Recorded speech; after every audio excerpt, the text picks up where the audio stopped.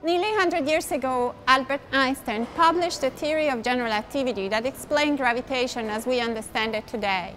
The theory connects matter, space and time and predict the existence of black holes and gravitational waves.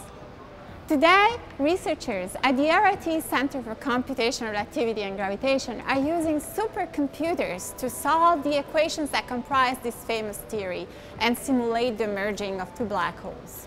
Here, we see a simulation of two black holes orbiting around each other. The black hole binaries are releasing energy in the form of gravitational waves. This energy loss forces the two black holes to get closer and closer together.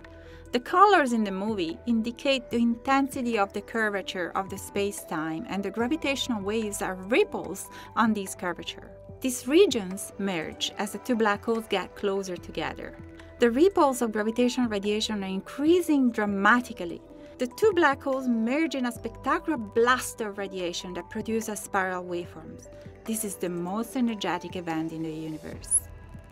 The intense spiral burst subsides, leaving behind a single spinning black hole that no longer produces radiation.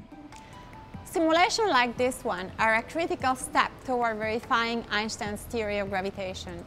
The simulations are used by researchers in the LIGO scientific collaboration as a blueprint to sift through the noise coming from space. The detection of gravitational waves will allow us to verify Einstein's theory and to create a new kind of astronomy, gravitational wave astronomy.